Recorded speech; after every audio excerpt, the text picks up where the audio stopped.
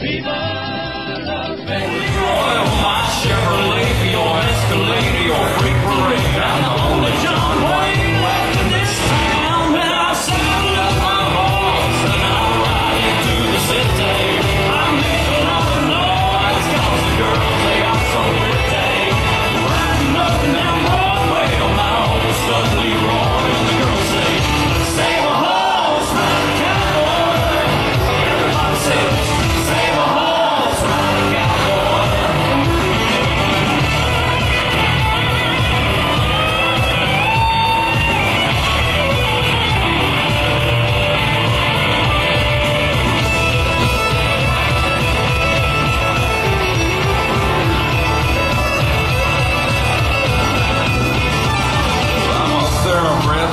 monkeys in the back of my truck bed as I was getting buzzed.